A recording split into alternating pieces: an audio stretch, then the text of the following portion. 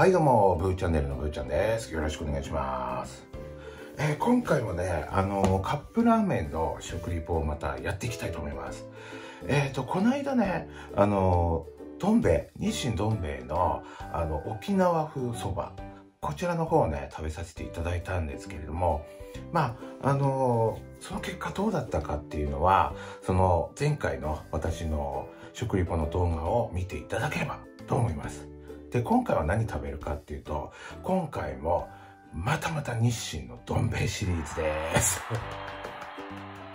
で、これね、正直沖縄そばよりは前に発売されてるんですよ。で、何かっていうと、こちらでございます。はい、ドン最強どん兵衛の最強です。えっ、と、このどん兵衛、すべてが主役。これ実は今回そばのタイプを買ってるんですけど、これうどんタイプにもこの最強バージョンがあります。ただ、前評判でね、そばの方がいいよっていう話私聞いたんで、聞いたので、今回あえてうどんではなくて、こちらのそばの方にしてみました。これは何が最強なんだろう？えっ、ー、と、麺の弾力、喉越し、新太そば法。まず麺が違う。で、厚さアップ、サクサクうまい鬼かき揚げ。かき揚げの厚さがアップだそうです。で、あとはね、6種の合わせだし。ほうほうほう。特製七味唐辛子。すべての具材とか、その材料を、なんだろう、コスト上げてるのかね。実際ね、これ普通のどん兵衛よりも値段高いです。高かった。200いくらだったよな。どん兵衛って、まあ、あのー、なんだろう。お安いところで売ってるドラッグストアとかで売ってるのとコンビニで売ってるのってまた違うじゃないですか。で、コンビニの方がまあ高いじゃないですか。で、コンビニで買ってこれ200いくらだったな。240、50円ぐらいかな。普通だと多分150前後だと思うんですよ。違うかな？忘れたけど。まあ、とにかくね、まずね、これ中ちょっと見てみましょうか。多分ね、全てが最強っていうんだから、あのー、開けてみた時点でもう違いがある程度わかるんじゃないかな。はい、早速開けてみます。あ、違うわ、やっぱり。まずこのパッケージも違うね。えっと、6色ブレンド、あ、最強ブレンド6色、6種の合わせだし、えっ、と、あご、干し椎茸、えっ、と、煮干し、サバ、昆布、鰹節、もう、うまいだし全部入れちゃえ、みたいな感じですね。で、こ、この部分が七味唐辛子。あの、後入れだそうですね。でも、いつものさ、粉末スープ、もっと粉末スープだけでこのぐらい大きくないですか？今回この部分この部分が粉末スープ。これ濃いからかな？濃いからちょっと少なめになのかな？あこれ違うわ。かき揚げ。あのここうやって見るとあ変わんないじゃんってなるけど厚さが違うね。厚さがさいつものかき揚げってさ結構せんべいみたいに結構薄いんですよ。薄いんですよ。倍ぐらいになってるね。で麺に関してはどうなんだろう。私普段どん兵衛のうどんの方をメインで食べるからそばあんまり記憶にないんだけどそんなに変わってるかな。変わってないような気がするな。まあこんな感じです、うん、パッと見た感じはね。じゃあこれからねまたお湯入れていきたいと思います。はいそんな感じでえっ、ー、ともう時間もいい感じになったんでねそろそろ食べれるんで開けてみます。そしてね例のあのかき揚げ？すんげえ熱いな。これ後のせ私ね、かき揚げ、まあ、普通みんな後乗せでサクサクで食べるの好きなんだろうけど、私本当はね、最初から入れちゃうのが好きなんですよ。で結構、あの、ふやけた感じ、風みたいになったやつを食べるのが結構好きなんだけど、はい。まあ、完成しました。こんな感じです。はい。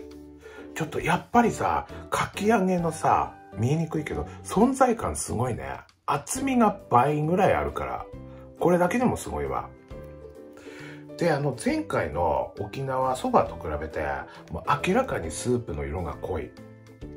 濃いから、多分私好みの味だとは思う。で、なんか今回さ、あの、麺とか、麺もそうだし、スープもそうだし、すべての具材がパワーアップしてるらしいんで、美味しくなきゃおかしいよね。ノーマルより美味しくないとおかしいと思う。じゃあ早速ね、食べてみたいと思います。いただきます。まず麺からいきますよ。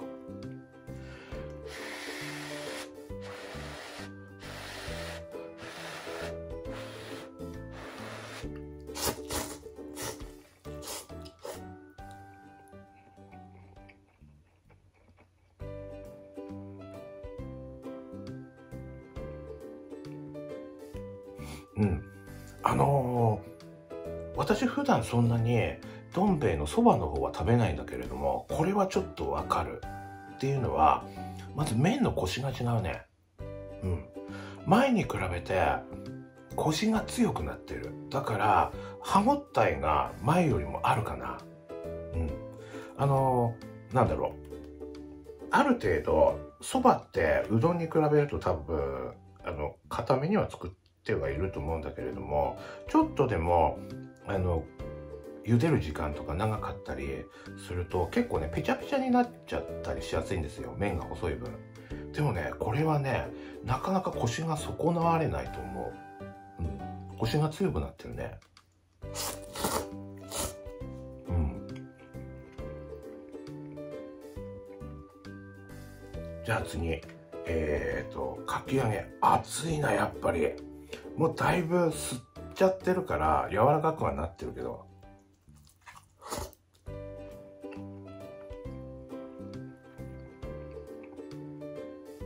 あのやっぱりかき揚げって厚みがあると最強やね。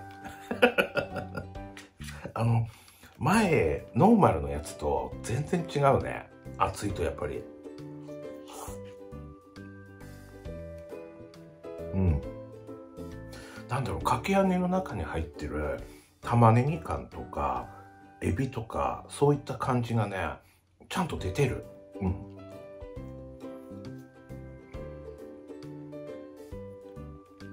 あの、ノーマルの薄いやつだと、どっちかっていうとね、あの、かき揚げの衣感だけが主張が強くて、中の具材の主張っていうのはあんまり感じられなかったんですよ。でもこれだとね、玉ねぎ感とかがすごくわかる。うん。かき揚げ食ってるって感じするもん。じゃあこのスープスープいってみます。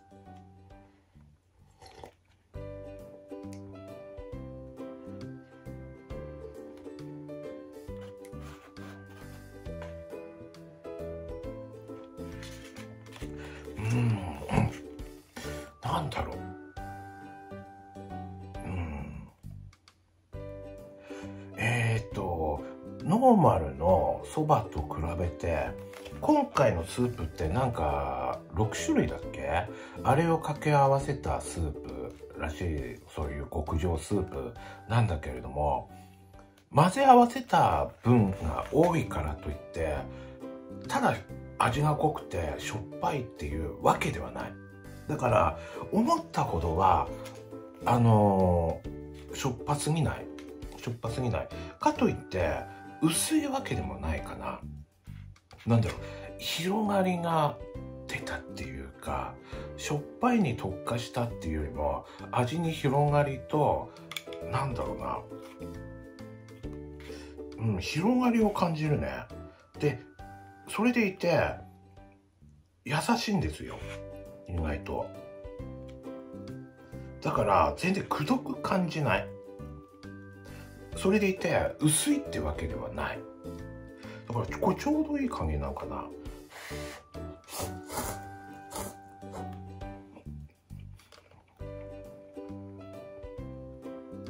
麺はやっぱりねちょっとコシが違うね、うん、強くなってる。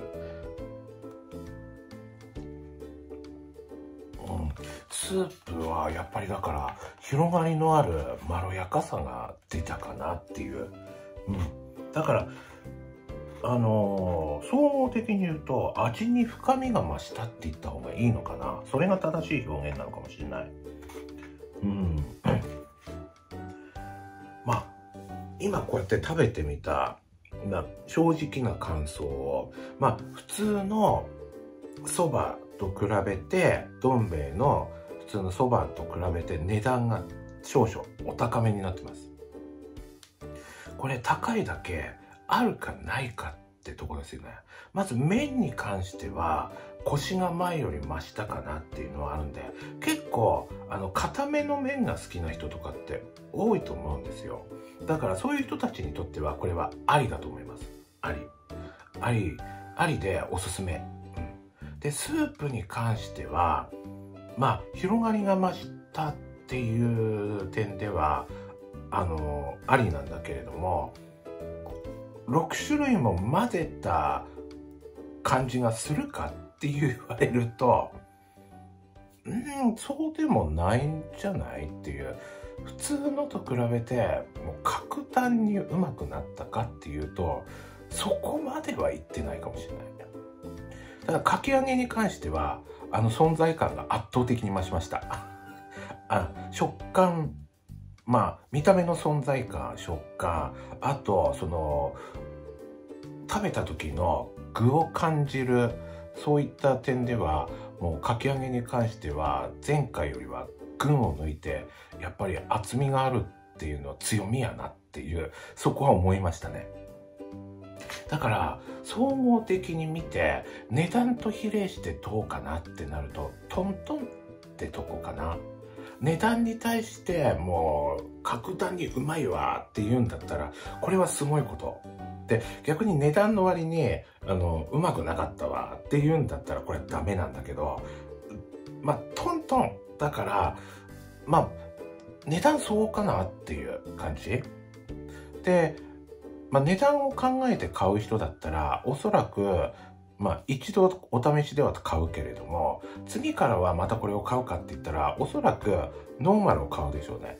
うん。味的に格段に飛躍的にアップしたかっていうと、そこまでではないから、うん。だから、まあ、これも好みなんだけど、私だったら、次ノーマルとこれが2つ置いてある。これと置いてあるんだったら、どっち買うかって言ったら、おそらくノーマル買うでしょうね。うん。ノーマル買うと思う。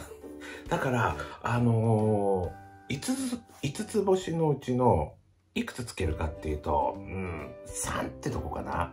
3。うん。格段にうまくなってるか、値段分うまくなってるかっていうと、これ人にと、人によって、あの、判断分かれると、と思う、これ。うん。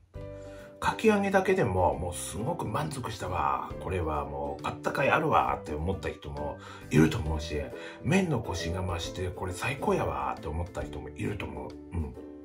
で、逆に、え、あんなに値段高くなって、そんなに味そのものはそんなに変わってないやんって思った人もいると思う。だから、だから今回はね、3かな。うん。私だったらね、で、私普段どっちかっていうと蕎麦よりもうどん派なんで、どん兵衛に関しては。うん、うどん推しなんで、めったにそんなに蕎麦は食べないんで、別に嫌いなわけじゃないけど。